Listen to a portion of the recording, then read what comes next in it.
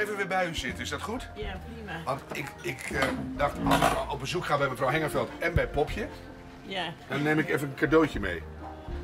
Oh, ik ben niet eens jarig en ik kreeg toch een cadeautje. Oh, Oh, zo, kijk eens.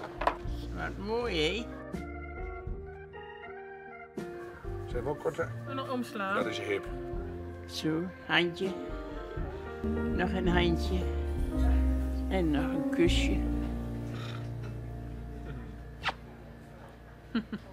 Je bent mijn schatje, hè? Ja. Je bent mijn lieve schatje.